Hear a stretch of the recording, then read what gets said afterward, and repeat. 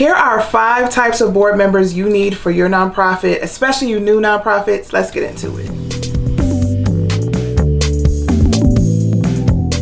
Hey there, this is Tiffany with Boss on a Budget. So I help people start their nonprofits and raise money for their nonprofits. I have started a membership society to help you get funding for your nonprofit. So if you need a community of nonprofit founders just like you and you need help, make sure you sign up for the society. It's linked below. So in this video, I'm just going to share five types of board members that will be really helpful when you are launching your nonprofit. This is really specifically for new nonprofits, but I'm sure this advice can be used for those who have been around for a while. Number five is like a twofer. So make sure you watch to the end because I'm giving you two types that go together. So the first one is someone with a legal background or who is a lawyer or who has access to a lawyer or with someone with a legal background. This is why I'm saying this. A lot of what you're doing, especially in the beginning, is around rules, regulations, and policies. It's important that you invest time in the beginning to writing strong bylaws, to writing your policies out, to understand what your policies should be, but also comparing that to state law. What a lot of people miss about starting a nonprofit is that states have just as much as a stake in what you do and regulate what you do. More so, way more so than the IRS. The IRS is interested in certain things, but the state also has requirements that you're probably missing because you're focusing so much on the IRS and the federal government. So, someone from a legal background or who practices law in your state knows how to read the law, knows how to interpret the law so that you can protect yourselves, and knows how to set up your policies and your bylaws so that it's strong, so that if it's ever challenged or you come across like a sticky situation, you have something to fall on. The point of having a policy or having rules and regulations is so that there's a standard. So when something happens, you have something to compare it to, you have a reference so you know which way to go you have some kind of guidance. But when you're creating that guidance it needs to be it needs to be solid. So i always tell people when they're writing their bylaws and their policies of course you can look at examples. There are plenty of examples on the internet but the rules for every state is so different. And also how you set up your organization and the culture of your organization is different.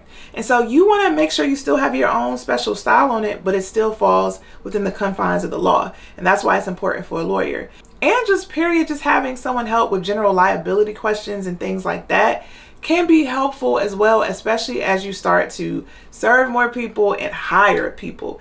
And there are different types of lawyers for that. So it's not enough probably just to have a lawyer on your board because they probably only practice one kind of law. So if you're thinking about who to have on your board as a startup you probably want to have someone who has some affinity or knowledge of taxes or tax law or businesses, contracts, corporations, that kind of thing, I think would be really helpful, but also have access to legal advice or legal counsel when other things come up. And just keep in mind before I finish this point, you want to have people who have experience with nonprofits. Just be mindful of that. When you're dealing with nonprofits, it can be different. Some of the scenarios can be different, especially with how you set up your nonprofit and your bylaws and with hiring and things like that. So just keep that in mind that you want to find somebody with that nonprofit experience. Or, like I said before, have someone who can have access to that. The second one is having someone who is comfortable with finances. So ideally this person will be the treasurer or will be in support of the treasurer. So the treasurer is typically one of the board officers who sits on the board. And let me just say this.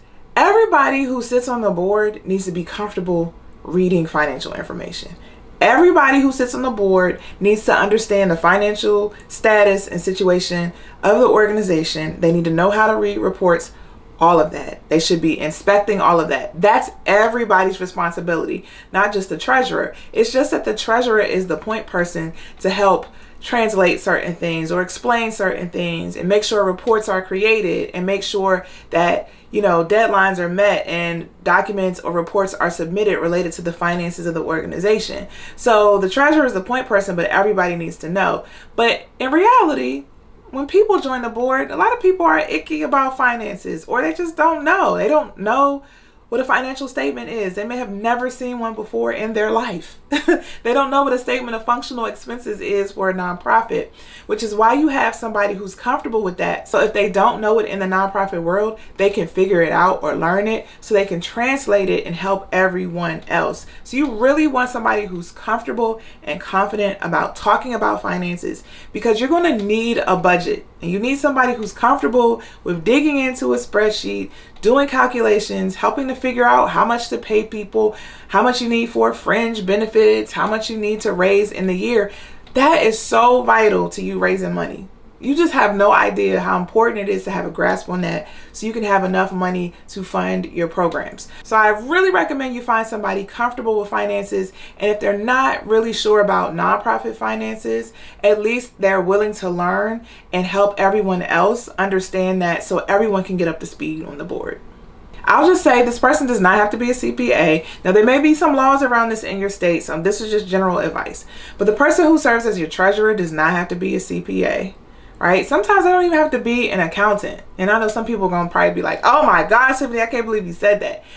I'm just saying from my experience, they just need to be comfortable with money.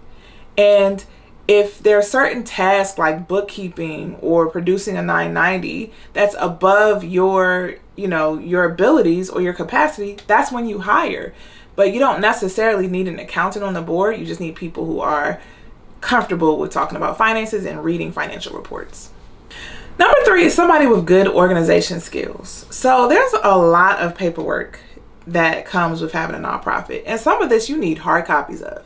I would recommend you keep hard copies of certain things. You should have a document retention policy which speaks to how long you keep certain documents because there are certain documents you should never get rid of, right? I'm a proponent for having some hard copies, but absolutely virtual or electronic versions of everything that you need for your organization.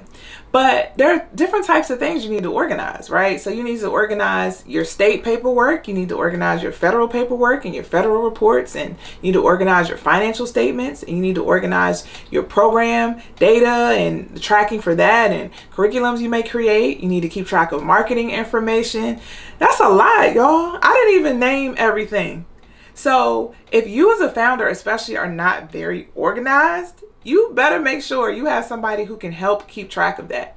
And ideally, the secretary, which is an, another office on the board, can help keep track of things like that and make sure the minutes are done. So let me stop and say this. The meeting minutes are so important because they document the decisions made by your board. And so you have to make sure that meeting minutes are being taken, that they're being signed, that they're being stored somewhere, and there's easy access to them. You should never, ever destroy your meeting minutes for your nonprofit. And your secretary will typically be the one in charge of that and keeping track of that. So you need somebody who's organized, who has a structured kind of mind, who can keep on top of those kind of things and that's their role right that's their role to just pay attention to that kind of stuff but there's so much paperwork you got to keep track of that having someone with good organization skills is definitely an asset for your board so the fourth thing is somebody with good writing skills. So this can play out in a bunch of different ways, but one of the most powerful ways is with grant writing.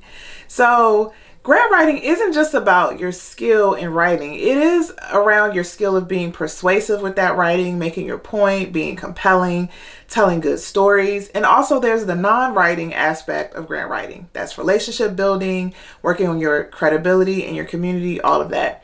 But it's just really good to have someone who can write in a compelling way, who has an organized way of thinking so they can translate that into writing, who can help translate possibly what you're trying to say if you're not good with writing into words so you can communicate that in content like your social media posts or in articles or in blog posts or things like that. So it's a really good skill to have. But let me even take it further beyond writing. I think just someone who's good at messaging someone who's good at communicating, who can help you verbally communicate or um, in a written way communicate about the point of your nonprofit, about what your core message is. Someone who can help tell good stories. Because when you have a nonprofit, you need a, a newsletter. You need to keep people abreast of what's happening with your organization. So, someone who can do that and pull that together and tell a good story is so important.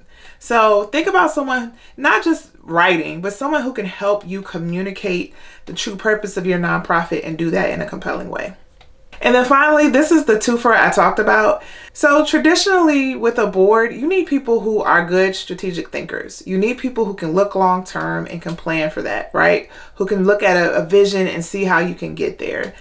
That is traditionally for a board really important because their role traditionally in an established organization is to more so advise or make rules or make the hard decisions. So you need those big thinkers.